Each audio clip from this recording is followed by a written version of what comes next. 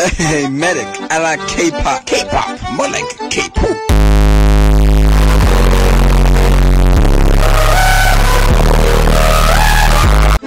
But K-pop is an extremely disgusting industry. It exploits artists even more than American music industries. I remember watching a documentary about the contracts they make people follow and how they have counts for eight-year-olds to see who they can manipulate into being a star. And the music itself is pretty much brainwashing people into being happy with their mundane lives. K-pop, and the keeps worship it.